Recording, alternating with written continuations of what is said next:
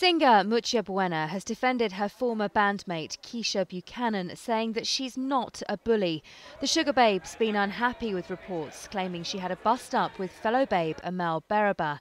The speculation started when Amelle failed to show up for a gig and it was reported that she'd gone missing. She was safe and well, but the rumours that she was unhappy because of Keisha picking on her have continued.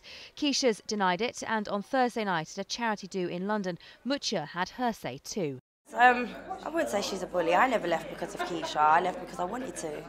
Um, but I think because of the way it was, the way it's happened, where Siobhan left, me, I left, and now the whole Amelle thing, I do think it's over exaggerated. Um, I don't.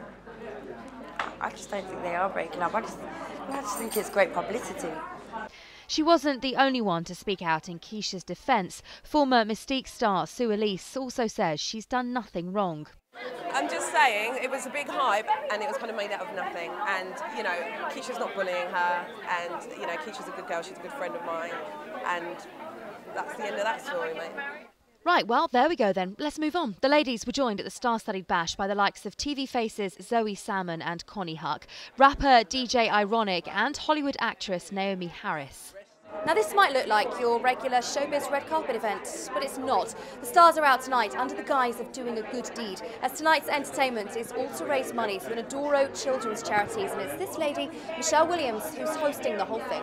Tell us why you got involved and why it's so important. Mm, I got involved because, um, first of all, it's for children. So um, anytime, you know, you can help a child, as far as helping fund with getting the clinics and schools built and water and clothes, a home. You know, that's very important for me.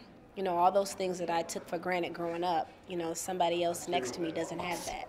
Michelle was joined on stage by a few other stars, including Mutya, who performed at the event. Kick-starting London Fashion Week, the evening featured an auction and a catwalk show.